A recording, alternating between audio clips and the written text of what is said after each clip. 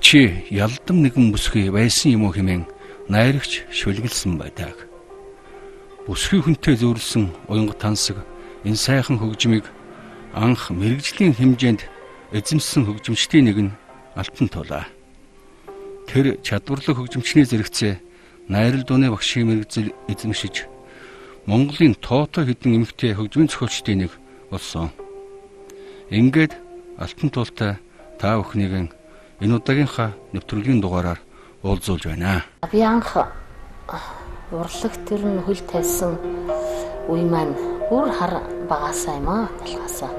Дөрөвдүгээр анги төгсөөд л хөгжин бүжгийн одоо яг энэ сургуульд энэ байранда энэ хөгжин бүжгийн дунд сургуульд шилжиж ирж ороод тэр орсон өдрөөс эхлээд л миний одоо амьдралын ажлын зам маань хэлсэн юм да. Урлагт тэгж хөл тавьж байлаа.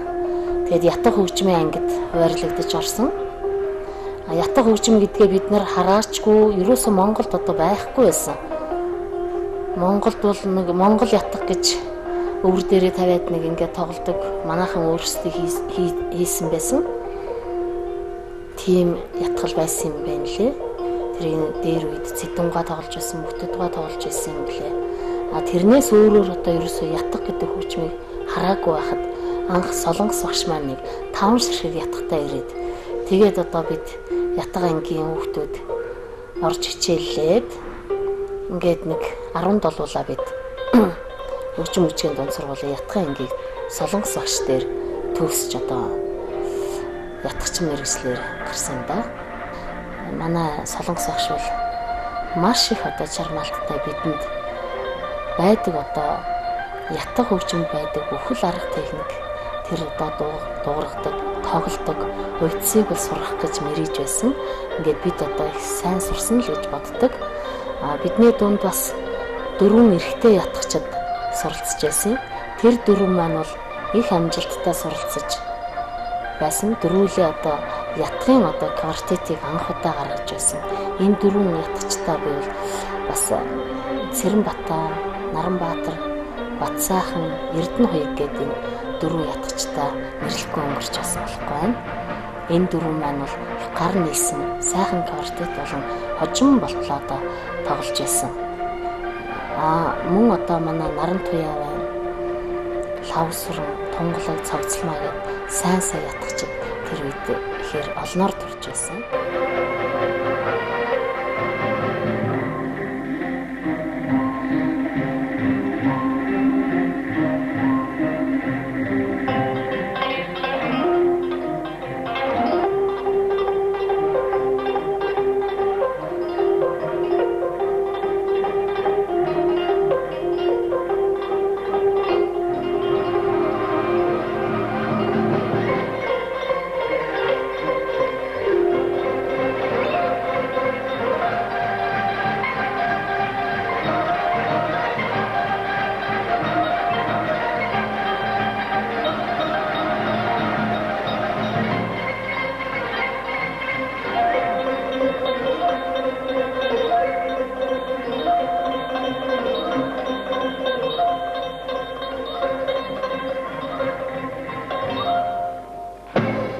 Ярьдаг шүү дээ. Алтан үеийнхэн гэж байдаг. Одоо дээр үеийн манай одоо алтан үеийн хөгжимчд алтан үеийн одоо дуучидтай бид хамтарч ажиллаж байлаа.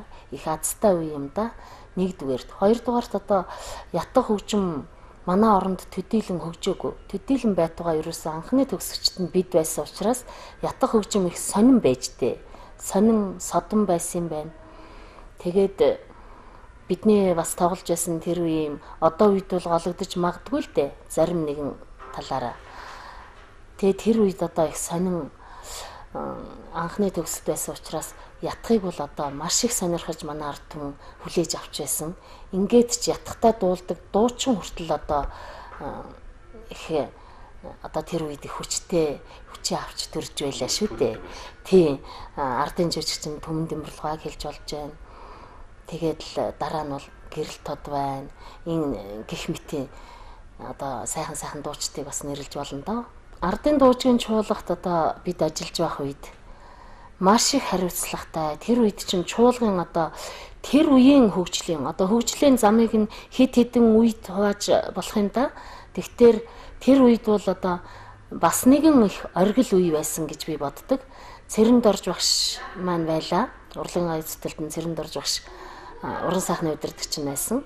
Ингээд бид чинь одоо шүнжин одоо хонон өнжин давтаж сургууль хийх янз бүрийн одоо төрийн концертууд маш олон одоо хурал ой одоо юу гэдгийг төлөөлөгч зочингийн ирэх бүрийд одоо ятхын чуулга ятгчдыг одоо бас их урьж тоглуулдаг байлаа. Тийм одоо сонин үе байлаа л да.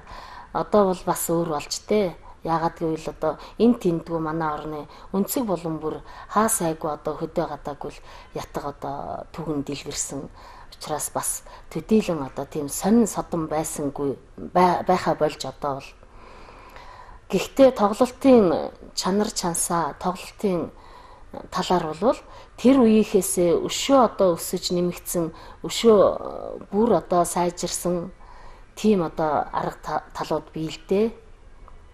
Ятгын талаар ярихад бол тий. За миний хувьд бол яг уу би бас гоцол хөгжимчнөр очиж байла. Наран туятаагаа хамтарч одоо их нилээд олон номерыг олон одоо гадаад дотоод хөдөө орон нутгуудаар үйлчилж одоо тоглолт хийж, аялан тоглолт хийж явж байла.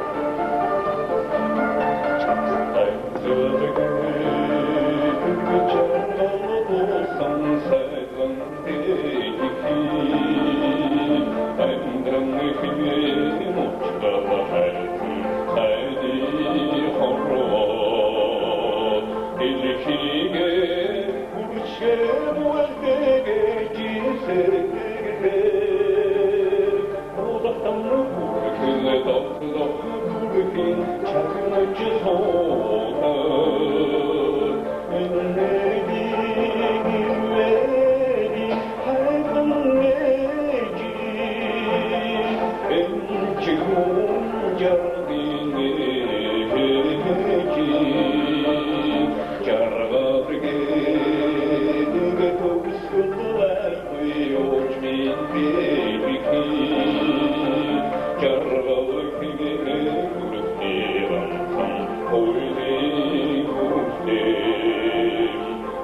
i'm nach Schiegen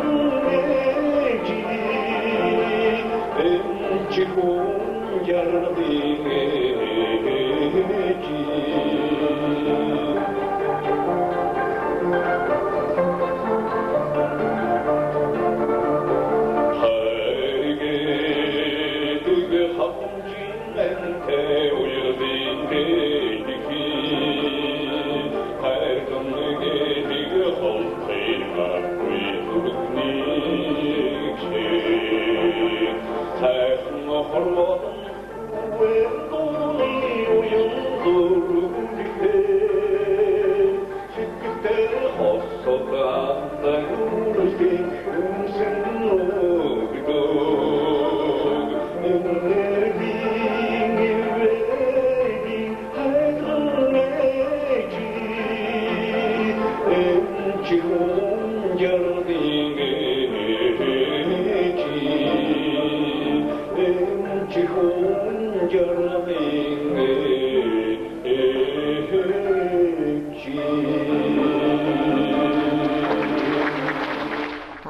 э, чуулгат одоо бас нэг их удаагүй маа. 4 жил болж исэн баха. Тэгээ сургуульд явах одоо гинтхэн санаа төрөөд тэгээ сургуульд явъя гэдэг одоо саналаа хэлсэн. Аа тэгэхэд манай чуулгын удирдлагууд дэмжиж ингээд 1971 онд би хөгжмийн дээд сургууль одоо Свердловск хотын Свердловск хотын хөгжмийн дээд сургуульд явсан явснаар бас нэгэн миний одоо бас нэг арай өөр мэрэгжил эзэмшиж ирээд өөр төрлөөр одоо хичээлэх болсон үе эхэлсэн да. Энэ нь бол юу юм гэхээр зэрэг ардын дуужгийн чуулгын дуучтай одоо ирж ажиллах тийм бас нэг завшаан тохиолдсон. Тэр үеийн одоо алтан үеийн дуучтай би бас хамтарч ажиллаж байлаа. Инхээр миний хувьд бол хөгжимчтэй ч хамтарч ажиллаж байлаа. А мөн дуучтай ч одоо ажиллаж байсан азтай их үдэ. Тэр үед хор мэстрийн юу ирсэн хуваар ирсэн байсан хөгжмийн өдөр даачийн хуваар ирсэн байсан. А би өөрөө хоор дуу дуунд ер нь их дуртай. Дуучдыг бас одоо их сонсох дуртай. Дуучдад дуучдыг ер нь их хүндэтгдэг одоо ч гэсэн. Тийм учраас би тэр хормонстрийн ангид нь одоо явъя гэж саналаа өгөө. Тэнд очиж суралцаад ингээд 6 жил э, сурч төгсж ирээд ардын дуужийн чуулган дуучтай нэлээд хэдэн жил ажилласан. Хормонстр гэдэг маань ер нь бол дуулаачдын багш юм шүү дээ. Одоо дасгалжуулагч багш нь гэж хэлж болно доо. Аа би өөрөө дасгалжуулж тэгж дуул ингэж дуул дуулах одоо урд үе тэр талаар одоо зөвлөдөг хэлж өгдөг одоо багш нь байсан боловч ардын дуу ардын одоо урын сангаа төдийлөн сайн мэдхгүй бас учир дутагдaltaй байсан да. Тэр үед. Яг гэвэл би Европын одоо сургуулиар дамжаад хойно төгсөөд ирсэн болохоор. А тийм учраас би ардын дуужийн чуулгын тэр дуучтаас одоо ихийг суралцсан гэж хэлж болно. Тэгээд ерөөсөө би дууны урлаг одоо ерөн зохиолын дуу бас оролдож эхлэе гэж бодоод тэгээд э, анхны одоо шүлэг хүч дэлхийн амгалан бай гэдэг шүлгийг давд оржоос аваад ингээд анхны дууга хийж эхэлснээс хойш тэгээ дууны урлаг мөн одоо сүүлийн үед жаахан хөгжмийн э, талын цөөхөл хөгжмөд жаахан хүчээ сорж байна. Дууна уран